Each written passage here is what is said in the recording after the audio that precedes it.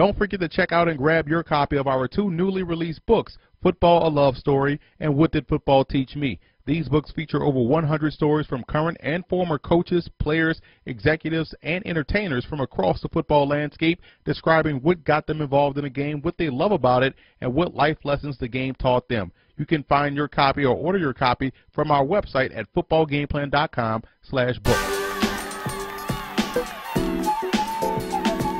All right, so I'm here with Notre Dame wide receiver Chris Brown, a guy I saw live against Temple had a lot of catches. You were doing similar to, to that today, catching the short passes. Can you just talk about practice today and how you, it seemed like you settled in? I mean, I definitely feel a little bit more comfortable than yesterday. Uh, we had a little bit more install today, but I mean, it's all getting back into that reviewing, and uh, I mean, once you know it, I mean, it's going out there and playing. So you're getting to work with uh, the wide receiver coach Troy Brown, a guy who played the slot position really well. I saw you bump inside, play slot. You, you could work outside. What are some of the things you're able to pick up from Troy Brown? Just the little nuances of routes as far as leverage and and top of the end routes, just being able to get out my routes faster. I mean, I you know I really respect his game and, and, and definitely just I mean just his savviness, and I you know I definitely want to increase my value being able to play inside and outside, just like you know him. Coming from Notre Dame, I mean, you guys got a squadron of receivers.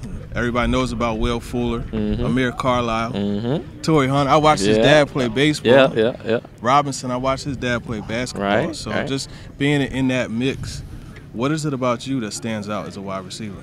Um, I mean, well, I mean, obviously, you know, I'm a, I'm a root for my boys, and we we all talented. I feel like, um, and they'll, they'll all tell you, I was the leader of that group. You know what I'm saying? I really tried to lead that group. You know, they was young.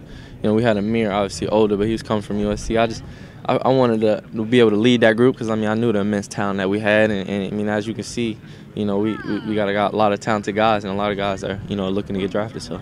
There you have it, Chris Brown, Notre Dame wide receiver. Thanks a lot for your time. So, wrapping up an excellent practice today by the East, we got to talk to four of the standouts Keenan Reynolds, we got to talk to Juston Burris, we talked to Javon Hargrave, as well as wide receiver Chris Brown. So, we had a pretty good day of interviews. Be sure to follow me on Twitter at tdavenport underscore NFL, as well as get all of our content from the East West Shrine game you can find that at footballgameplan.com slash draft.